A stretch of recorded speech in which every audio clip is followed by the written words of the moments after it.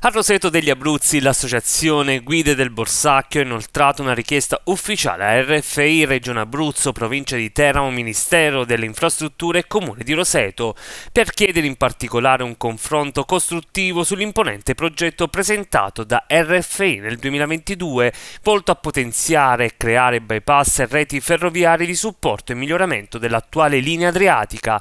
Tale progetto prevede nuovi collegamenti lungo le colline del territorio rosetano tramite viadotti e gallerie per poi rientrare proprio nel cuore della riserva del Borsacchio, riallacciandosi sul tratto costiero poco prima della pineta Mazzarosa. RFI che a settembre ha presentato una sorta di variante destinata soprattutto al treno merci che andrà a seguire la linea delle colline da Alba Adriatica fino a Roseto. Il problema qual è? È che eh, si ricongiunge sul tratto esistente proprio traforando il colle principale di, della riserva Colle Magnone e passando sui terreni agricoli costieri per riallacciarsi e questo è ovviamente un problema. Non viene citata la riserva, non vengono citati i vincoli di una riserva e quindi sicuramente questo progetto dovrà essere modificato.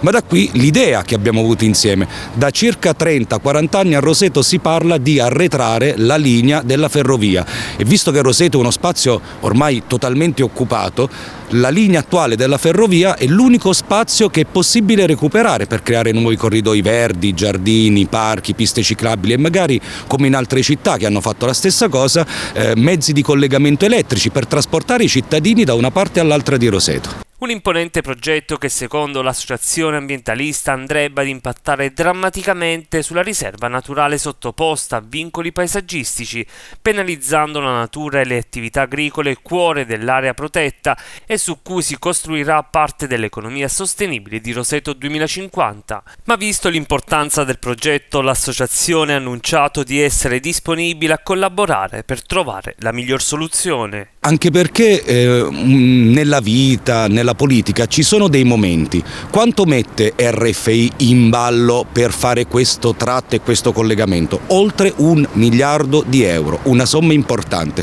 Perché nonostante tutti urbanisti, amministratori hanno pensato a quest'idea e non l'hanno mai realizzata negli ultimi 30-40 anni? Perché non c'erano i fondi.